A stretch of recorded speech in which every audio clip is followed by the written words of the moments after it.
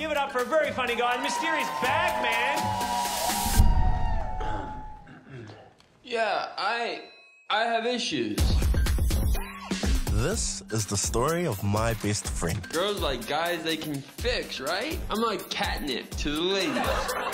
Travis is a solo act, but nobody dreams of being alone forever. Come on, just talk to the pretty girl. How hard can it be? This is gonna suck. It'll be fun. I just wanted to see if you need any help. How would this work? Why don't you go get me another beer with a lot of head? Ha ha ha! So clever. Lucky you're a freaking retard, mate. The body, the body's fried. The brain is fine. Kind of the opposite of you. Nice work. How about you come in and give us some tips on how to repel people like that? How do I learn to do what you did? Sunny has assertiveness issues, don't you both? If you say so.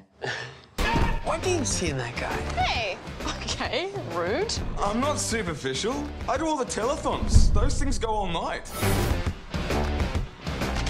The biggest comedy festival on the planet. We're going to enter you into the open mic contest. I want you guys together, working on comedy gold. From now on, you two are inseparable. Initiate launch procedure. You're really a pinata full of crazy, aren't you? Yes! do you know what it is to want something even if it doesn't make sense? No, I'm crazy. Why'd you do that? I need you to trust me. Can you call me? There's something I need to tell you. I don't need you. I don't need anyone. You're making the biggest mistake of your life. I can't be in a relationship with someone that doesn't trust me. What is it? I saw her hugging Mikey and just assumed.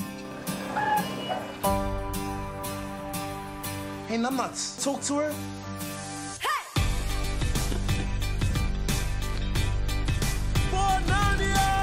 Your friend can't come backstage. Uh, he's disabled. I'm his carer. You're blind.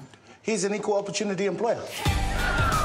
He's in love, and his girl is out there. You can have two of my minutes. Thank you so much. What are you gonna say? I have absolutely no clue. Somebody is about to eat a big shit sandwich. I'm like a cat. Always land on my feet.